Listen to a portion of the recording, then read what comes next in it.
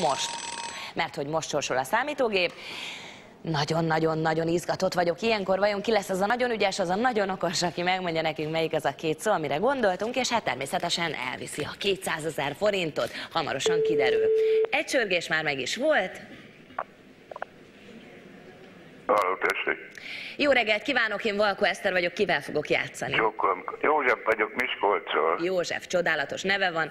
Kedves József, mondjon nekem két szót, és az öné a 200. Emelet, lift. Nagyon jó, bravo!